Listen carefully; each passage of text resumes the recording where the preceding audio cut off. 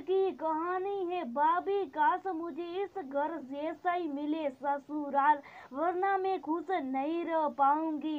दोस्तों, कहानी शुरू करने से पहले, अगर हमारे चैनल को सब्सक्राइब नहीं किया हो तो कर लीजिए, ताकि आपके पास पहुँचे हर नया वीडियो। परी आज पहले से भी बहुत खूबसूरत दिख रही थी। भाभी से अपनी खजूरी रोसोटी बनवाकर आँखों में काजल लगाती परी को भाभी ने प्यार से देखा और फिर काजल परी से लेकर उसका कान के पीछे काजल का टीका लगाकर बोली, नज़र ना लग जाए कहीं, हमारी परी को इसलिए ये भी ज़रूरी था।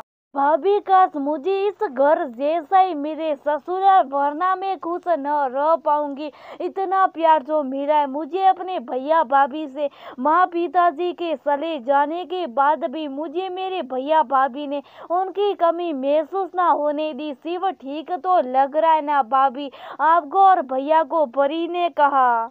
ज़्यादा मत सोचो, मगर फैसला जल्दी मत लेना। बात करो अपनी पसंद, नापसंद शिव से शेयर करो। और सबसे बड़ी बात यह है कि बताना नहीं कि तुम तो महीने के पंद्रह हज़ार कमा रही हो नौकरी में, वरना तुम्हारी सैलरी से भी ज़्यादा उनकी एक्सपेक्टेशन जुड़ जाएगी तुमसे, वैसे। तो शिक्षक समझदार जान पड़ते। तुम्हारे भैया को कह रहे थे, दहेज नहीं लेंगे माडर ने दहेज प्रथा को अभी साथ मानते। बाकी तुमको सोचना, समझना है परी क्योंकि आजीवन ज़िंदगी तुमने गुजारनी। शिव के साथ उनके घर में भाभी ने परी से कहा।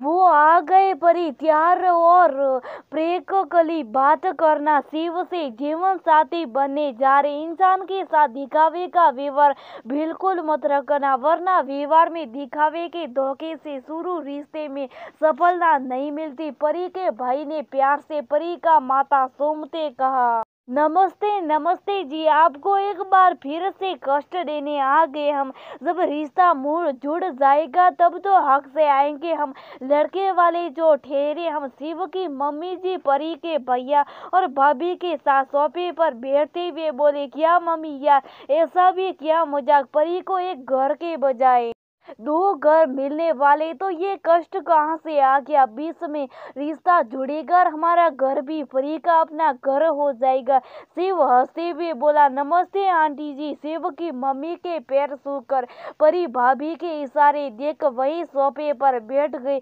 बहुत ही ज़्यादा प्यारी हो तुम और आंटी जी नहीं। बोलना है, समझी? मम्मी जी, बोलना शुरू करो। अब हम रिश्ता फाइनली हाँ कहने आए हैं। तुम बताओ, मेरा बेटा शिव तुम्हारी खूबसूरती और नौकरी के सामने कमतर तो नहीं है तुम्हारे लिए। शिव की माँ ने पूछा तो परी सिर्फ़ मुस्कुराई। जाइए शिव, आप लोग बाहर लोन में चले जाइए। बात कर लीजिए आपस में। परी के भाई ने कहा तो दोनों बाहर लोन में लगे, झूले पर जाकर आपस में बात करने लगे। जिस दौरान परी ने अपने मन की सारी उलझन क्लियर कर ली, जब शिव ने परी की हर बात पर सहमति जताई। कुछ ही दिनों में दोनों का विवाह हो गया। भैया भाभी परी की खुशहाली की फ्रिक करते रहते थे और जब वो शिव और परी को एक साथ तालमेल से जीवन में चलते पाते तो अपने दामाद का दिल ही दिल शुक्रिया कहते। लगभग तीन साल में परी जॉब भी करती, एक साल के विवाह के प्रति माँ की ज़िम्मेदारी भी निभाती, कोई नौकरानी उधर मिल नहीं पाती थी, इसलिए खुद ही घर का काम भी संभालती और हर वक्त खुश रहकर ज़िंदगी बिताती। शिव क्या हुआ, ऐसा बताते क्यों नहीं? तुम मुझे कलियर दो हफ़्ते से घर पर पड़े रहती, ऐसे कैसे ऑफ़िस चलेगा? प्राइवेट नौकरी में ऐसा ही आसान था तो मैं विहान की केयर के लिए न घर में बैठ जाती। परी ने शिव पर ज़ोर देकर पूछा, नौकरी से निकाल दिया मुझे, बॉस की साथ बनी नहीं रही थी, उगता गया था, हर दिन छोड़ दी जॉब। शिव ने कहा तो घर पर बैठना तो कोई समाधान नहीं नहीं। अब हम गृहस्थी वाले बेटा है हमारा। ऐसे चलेगा ऐसे बिना ही कमाई के क्या सिर्फ़ मेरी कमाई से तुम घर चलाने की तो नहीं सोच रहे। परी परेशान हो गई थी वाह परी परी बहु तो मनो सीखती शब्द निकल गई मन की पट ली उसने। एक ही तो बचा है तुम्हारा और वो भी बेटा है ना कि बेटी। और कब तक भटेकेगा मेरा शिव प्राइवेट नौकरी ढूँढने में पहले शिव की तनख्वाह पर ये घर सलाह करता था और अब शिव की परी की कमाई से।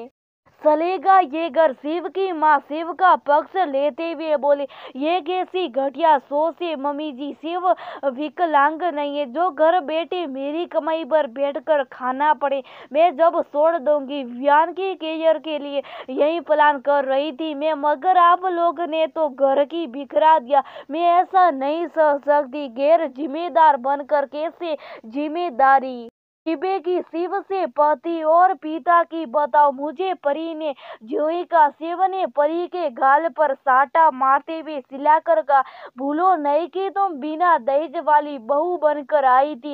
इस घर में मालूम है क्यों? क्योंकि तुम कमाने वाली बहू बनकर आई थी। दहेज लाकर क्या करते? हम जब कमाने वाली मशीनी साथ आ रही थी। बकवास करना बंद करो। पढ़ी लिखी हो इस घर का खर्च उठाने का फ़र्ज़ निभा कर निभाकर जना लेने का कर्ज सूखता करो। हमारा समझी तुम शिव जोरों से सिला रहा था। दरवाजे पर दक्ष सिंह शिव और उसकी माँ अचानक व्यवहार में बदलाव लाते हुए दरवाजे की तरफ़ देखकर बोले, अरे अरे, ऐसे कैसे? आगे आप लोग फ़ोन भी नहीं किया।